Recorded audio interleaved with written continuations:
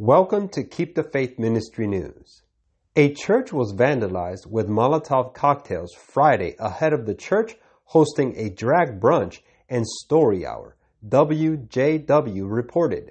Quote, Despite the minimal damage, the church is taking extraordinary security precautions ahead of the planned protest scheduled for April 1, and services will resume as scheduled. A person representing Ohio's Community Church of Chesterland said in a statement acquired by WJW. Controversy over the planned show erupted after a Chardon, Ohio restaurant called Element 41 partnered with the church to hold the drag brunch. WKYC reported, quote, They're calling us pedophiles, and it's getting really crazy where I have to turn my phone off at night, Element 41 owner Paul Mendelera previously told the outlet. Quote, It was the same in the days of Lot.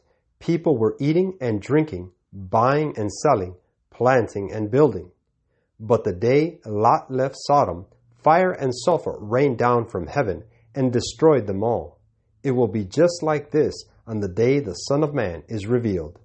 Luke 17, 28 through 30. This is Keep the Faith Ministry News. Thank you for watching.